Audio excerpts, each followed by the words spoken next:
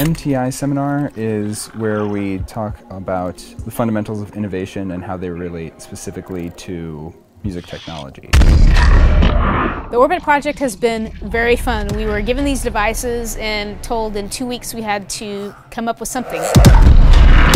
Today we're doing a competition to see who can come up with something cool for these little MIDI controllers called Numark Orbits.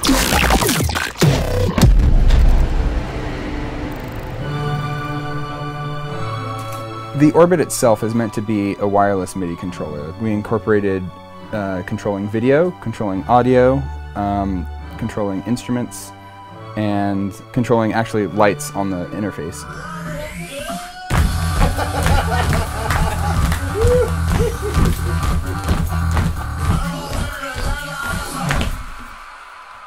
Uh,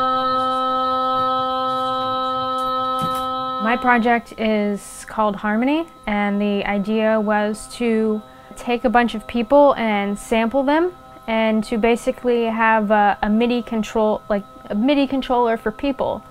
So I filmed everybody and recorded them singing the 12 steps of the chromatic scale. So each video is controlled from a low, a medium, and a high note.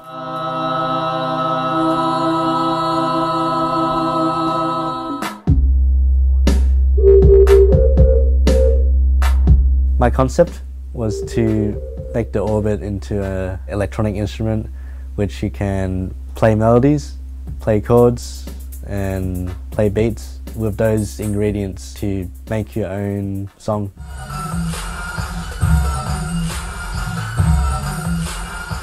My project was um, just a DJ set, uh, to really use it as the wireless DJ capabilities that it has and to show them off and be able to create a seamless mix while adding in effects, while being able to crossfade and basically do everything I would do standard behind a set of turntables.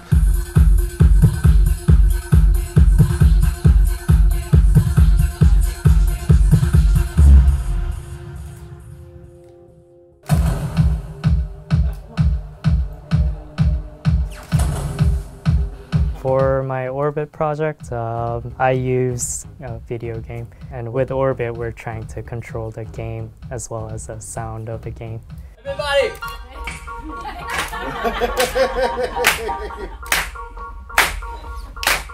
Our Orbit project is called um, the Rule of Three. We are three people with three orbits and three computers. We have performance, we have music, we have visuals. The goal is to transmit this feeling like very energetic thing and very impressive.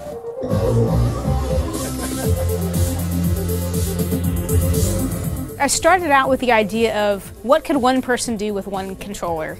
Uh, because the possibilities of the orbit are, are really endless. So my idea was to be able to manipulate audio and video within one controller.